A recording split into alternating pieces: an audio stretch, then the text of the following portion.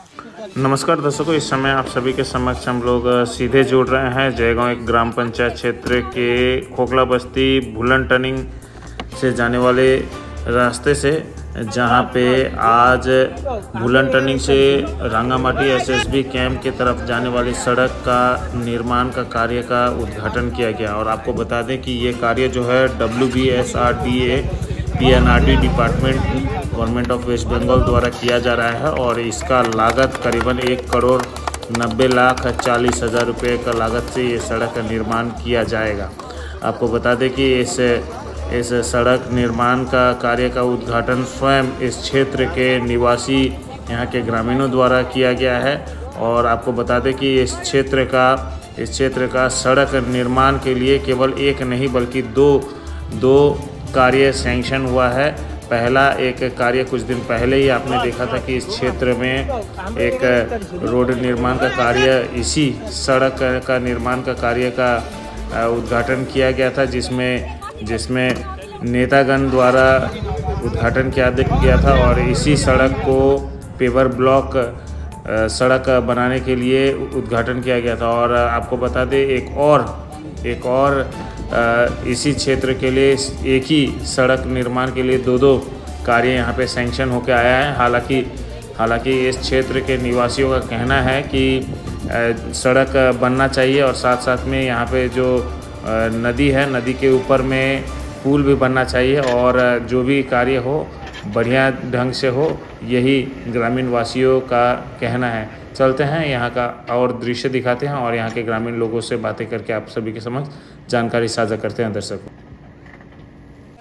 अँ, आज हामीले देख्न पायौँ तपाईँहरू ग्रामीणवासीले नै मिलेर यहाँको बाटोको उद्बोधन गरेको है ओपनिङ उद्घाटन गरेको देख्न पायौँ।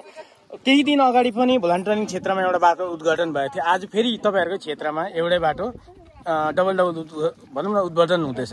के भन्नुहुन्छ त्यो उम्, हाम्रो चाहिँ के भयो भने अस्ति हामीले त्यहाँनिर हेऱ्यौँ है उहाँ पनि एउटा हाम्रो भलन्टरीमा यही रोडको लागि एउटा के अरे उद्घाटन भयो। हामी त्यहाँ पनि थियौँ होइन देख्यौँ। अनि त्यो काम चाहिँ एनबिडिडीबाट पास भएको भन्ने कुरोहरू हामीले सबैले थाहा भएको कुरो हो है सुनेको।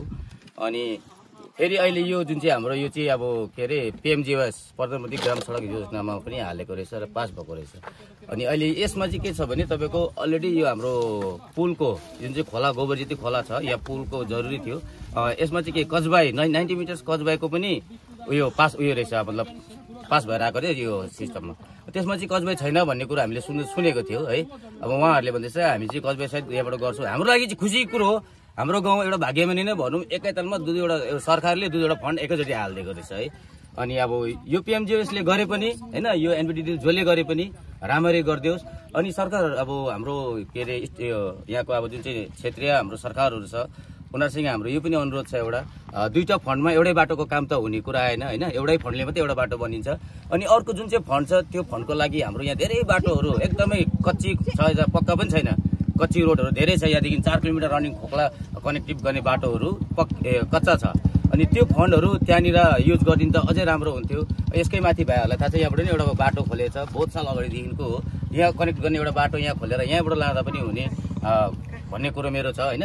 राम्रै हो यहाँ कजबाई पनि बनिँदो रहेछ होइन? अब हामीलाई चाहिँ जसले पनि होस् छिटो बनाइदियोस् राम्रो बनाइदियोस् भन्ने गाउँवासी यतिमै खुसी छ हामी। त्यो त्यो जुन चाहिँ बजेट थियो त्यो बजेटमा के नालाहरू थियो?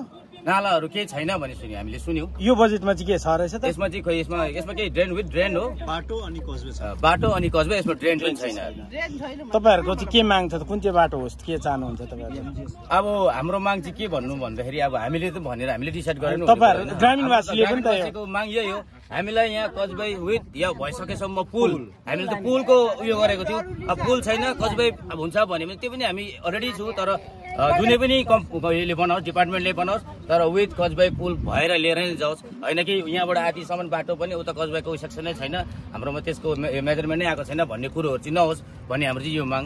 अब हामी भनिदिनु कि हामीलाई पिएमजी बस्दैछ यो हामीलाई त्यो कुन चाहिँ अर्को अर्को पार्टीकै यो चाहिन्छ भने जसले गरोस् तर त्यो सिस्टमले गरिदियोस् भन्ने चाहिँ मेरो माग तपाईँहरू गाउँवासीहरूले कुन चाहिँ बाटो चाहियो?